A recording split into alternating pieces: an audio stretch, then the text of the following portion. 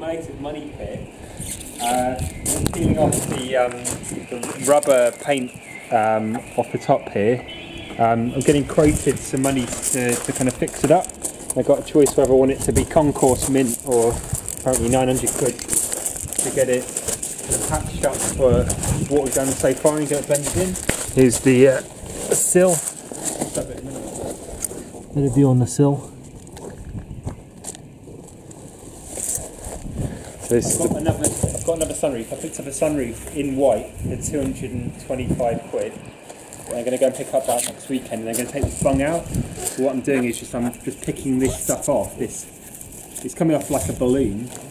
And if I can get this stuff off, I think it'll look much better to have this all in white. definitely. And you've got a standard rear wing to go on.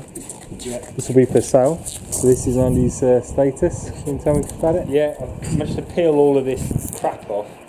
Looks like it's to- come. Yeah, it's all come off nicely. And we're going to uh, take this off as well. And you're going to get the whole thing sprayed, Andy. The two grand. To full respray. Respray. Good luck, mate. Good luck. You've done a nice job of that.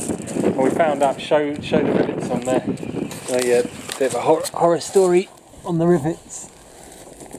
So this has all been riveted in. If you can see that. Drill them out. Gonna have to drill these out as well. So this is gonna come out. Go on. Let's get us out. it's out. Hooray.